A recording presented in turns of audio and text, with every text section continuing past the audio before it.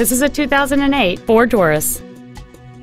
It has a 3.5 liter six cylinder engine and a six speed automatic transmission.